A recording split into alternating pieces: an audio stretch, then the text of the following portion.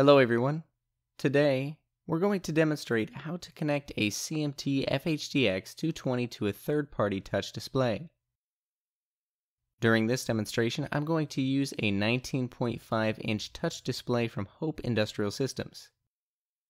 The exact model of this unit is HIS UM 19.5-CTBA.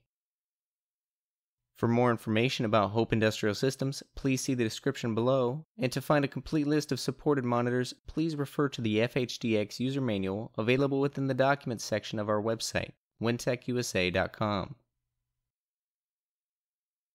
To begin, I'm going to connect an HDMI cable from the display to our HMI.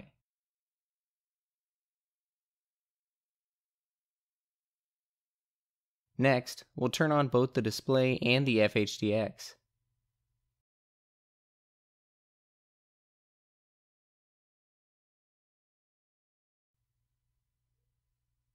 Now that we can view the HMI's project, I'll connect a USB cable from the HMI to the display.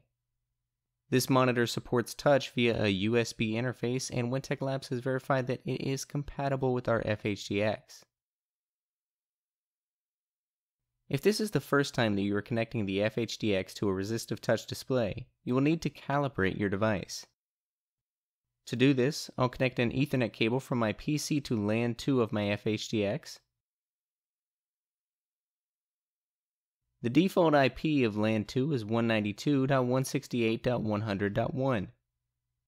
So we'll need to configure the IP of our PC such that it lies on the 192.168.100 subnet. To change our PC's IP, I'll open the control panel, select Network and Internet, and then click Network and Sharing Center.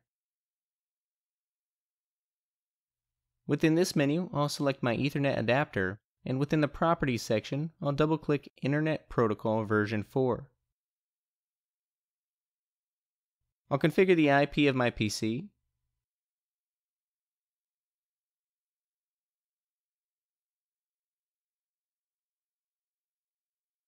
And now that our PC is on the same subnet as our device, I'll open my browser and enter the IP address of my FHDX within our search bar, and then click Enter.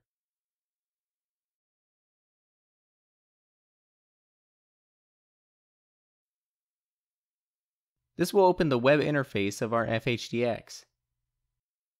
To log in, I'll enter the HMI's default password, 111111. However, if you have reconfigured this password, be sure to enter the appropriate credentials. Once logged in, I'll expand the Features tab and select Touch Calibration. And within the following menu, we'll select Start Calibration. On the monitor, a small crosshair will appear in the top left corner. Select this crosshair with your finger or a stylus to continue calibration.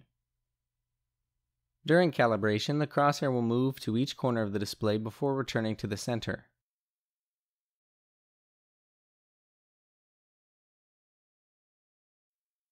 After which, you can select OK if you're satisfied with the calibration, or click Cancel, or allow the prompt to time out if you would like to reattempt calibration.